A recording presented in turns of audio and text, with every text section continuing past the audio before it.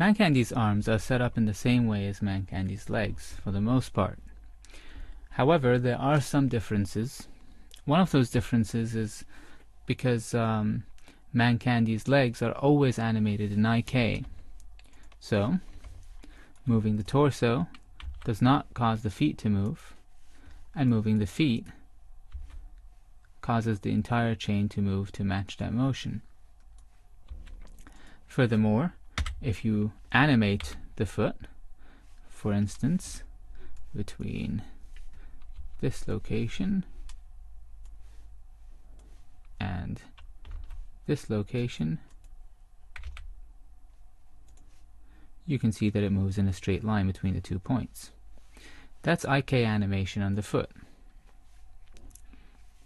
Now if you look at the arms, we'll see that they're in a FK position by default. So, animating the arm means rotating these bones rather than moving an FK to IK target.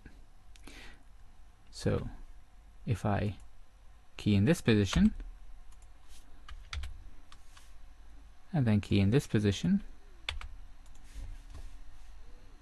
you'll see that the hand moves along in an arc due to the FK animation. Let's split a view and have an action editor open. You'll see that the act of adding keys here created a default action on Mancandy with the name action.001. Let's erase that, thus getting rid of that animation.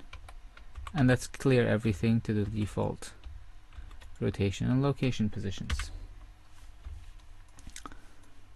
One interesting thing about the arms is that there is an extra constraint on the hand called a targetless IK constraint. I'll delete it and re-add it so you can see what it does. Basically, selecting the hand bone and hitting Ctrl I gives me the option to add a targetless IK constraint. And before it's ready for use, I have to tweak it a bit because this is not the effect I want from it. So I'll uncheck use tip and make the chain length 2. Basically it looks like I'm using IK for positioning the hand. In actuality, this is still an FK controlled chain.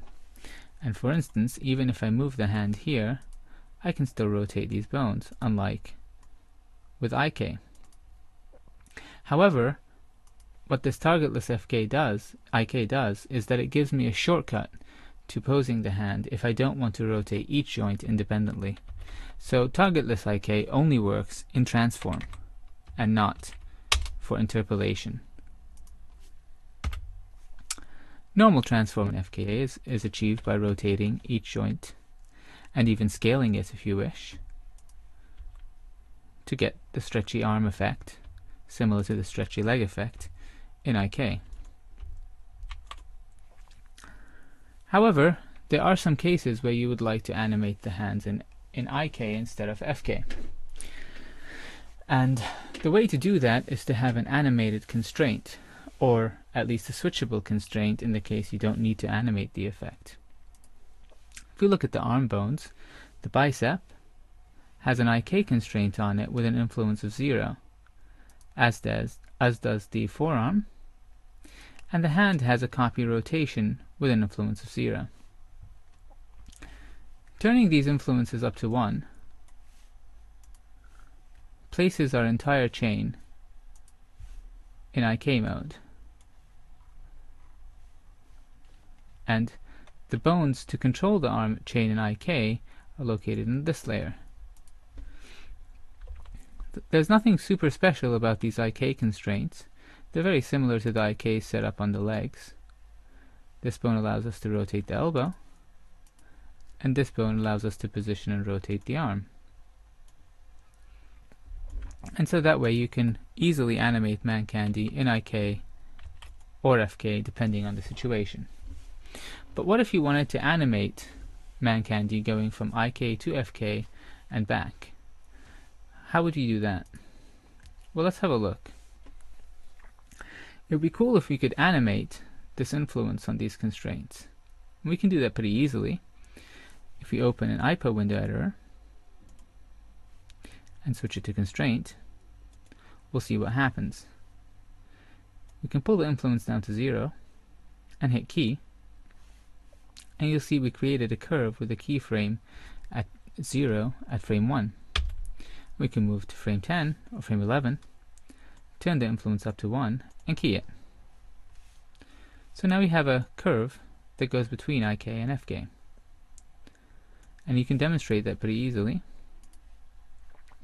if I grab this bone here, rotate it, nothing happens.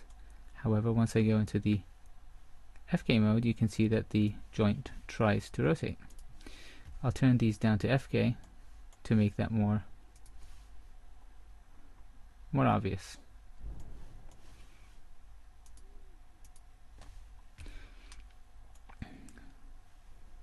So you can see the IK constraint becoming effective because of the animated constraint.